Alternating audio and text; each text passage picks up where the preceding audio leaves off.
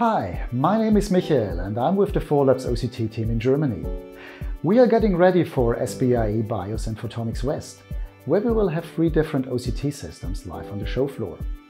We invite you to bring your sample for a live demo, have a nice chat and of course get yourself your brand new Thorlabs t-shirt.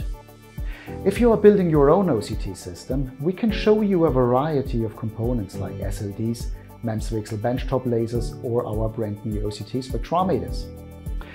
And we also have turnkey systems available, based either on spectral domain or swept source technology, which can be configured to specifically meet your imaging needs, for example in biomedicine or industrial quality control. I'm looking forward to seeing you soon.